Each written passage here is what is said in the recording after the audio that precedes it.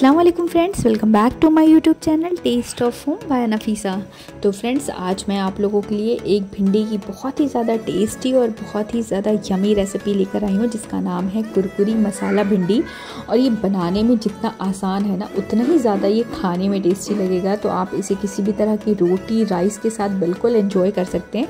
तो चलिए बनाते हैं कुरकुरी मसाला भिंडी और जानते हैं क्या क्या है इसके इन्ग्रीडियंट्स तो मसाला भिंडी बनाने के लिए यहाँ पर मैंने हाफ़ के जी भिंडी को धोकर अच्छे से सुखा कर रख लिया था और सबसे पहले हम भिंडी को कट कर लेते हैं। तो मैंने ऊपर और नीचे वाला जो है पार्ट काट काट के हटा दिया है और इस तरीके से है ना हम एक भिंडी के को चार पार्ट्स में आ, कट कर लेंगे। इस तरीके से हम कट कर लेंगे। तो अगर आपकी भिंडी ज़्यादा बड़ी है तो आप उसको बीच से भी कट कर दीजिए और अभी सबसे पहले मैं भिंडी को मसाले के साथ कोटिंग करके रखूँगी।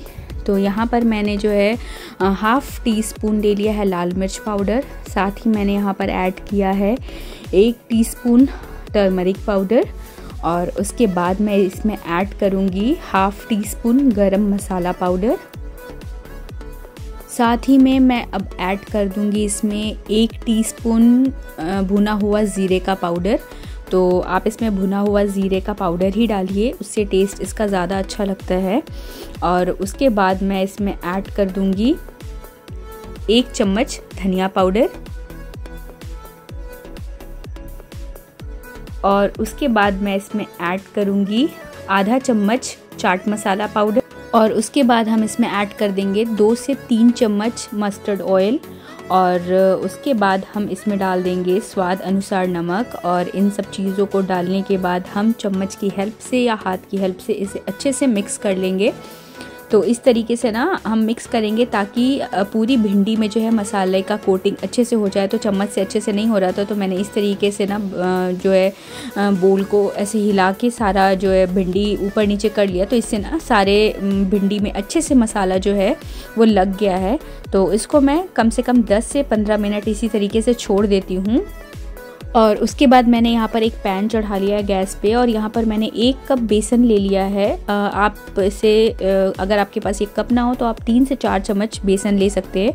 और इस बेसन को मुझे जो है ड्राई रोस्ट करना है तो मैं इसे कम से कम दो से तीन मिनट तक ड्राई रोस्ट करूँगी जब तक कि इसका कलर थोड़ा चेंज ना हो जाए और ये दानेदार ना हो जाए और फिर इसमें से एक अच्छी सी जो सोंधी सोंधी स्मेल आती है ना, वैसी स्मेल ना आने लगे तब तक हम जो है बेसन को ड्राई रोस्ट कर लेंगे। तो यहाँ पर दो से तीन मिनट हो गए थे और मैंने जो है कंटिन्यूसली चलाते हुए बेसन को ड्राई रोस्ट कर लिया है और यहाँ पर आप देखिए कलर भी इसका चेंज हो गया है तो बस इसी टाइम जो है मैं गैस का फ्लेम ऑफ़ कर दूँगी क्योंकि इससे ज़्यादा मुझे बेसन को नहीं भूनना है और मैं इसे किसी भी प्लेट में निकाल कर रख लूँगी ताकि ये अच्छे से ठंडा हो जाए।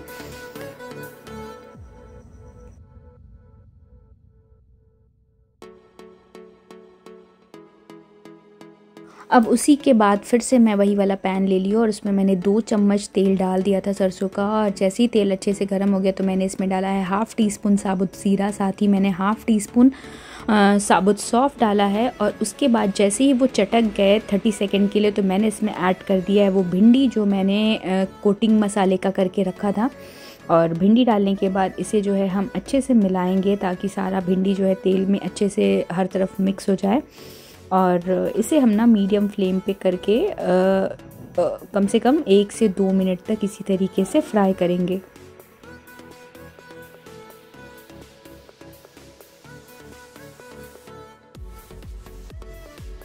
तो यहाँ देखिए दो से तीन मिनट हो गए थे और भिंडी का कलर बिल्कुल चेंज हो गया है और मैंने इसे ना अच्छे से फ्राई कर लिया है। तो आप देख पा रहे होंगे इसका कलर कितना ज़्यादा अच्छा लग रहा है। तो बस इसी टाइम मैं इसमें ऐड कर दूँगी वो ड्राई रोस्ट किया हुआ बेसन जो मैंने पहले से ही रखा था करके। तो ये अच्छे से ठंडा हो गया था और ये मैंने यहाँ पर पूरा डाल दिया है और उसको डालने के बाद हम इसे अच्छे से भिंडी के साथ मिक्स करेंगे ताकि इसका भी जो है कोटिंग अच्छे से भिंडी के ऊपर हो जाए। तो यहाँ पर मैं पूरे भिंडी के साथ इसे अच्छे से मिक्स कर लेती हूँ। तो यहाँ पर देखिए, मैंने बेसन को अच्छे से भिंडी के साथ मिला लिया था और मैंने इसे एक से दो मिनट तक अच्छे से पका लिया है और उसके बाद मैं इसमें ऐड करूँगी आधा नींबू। तो नींबू डाल देने से ना इस भिंडी का टेस्ट बहुत ही ज़्यादा बढ़ जाता है। इसका जो खट्टा टेस्ट आता है ना, वो बहुत ज़्यादा अच्छा लगता है। तो इस तरीके से ये मसाला भिंडी ना बहुत ज़्यादा टेस्टी लगती है स्पेशली ये रोटी के साथ बहुत ही ज़्यादा अच्छी लगती है। तो बहुत थी ना ईजी और एकदम यमी रेसिपी तो आप इस ईजी और यमी रेसिपी को ज़रूर ट्राई कीजिए। अगर आपको ये रेसिपी अच्छी लगती है तो अपने फैमिली और फ्रेंड्स के साथ इसे ज़रूर शेयर कीजिए। साथ ही मेरे इस वीडियो पे कमेंट करना बिल्कुल मत भूलिएगा। और अगर आपको ये वीडियो अच्छी लगती है तो मेरे चैनल को सब्सक्राइब करना वीडियो को लाइक करना कमेंट करना शेयर करना बिल्कुल भी मत भूलिएगा। तो चलिए मिलते हैं आपसे इसी तरीके से किसी नेक्स्ट वीडियो में अभी के लिए इतना ही। अल्लाह हाफिज़ टेक केयर दुआ में ज़रूर याद रखिएगा।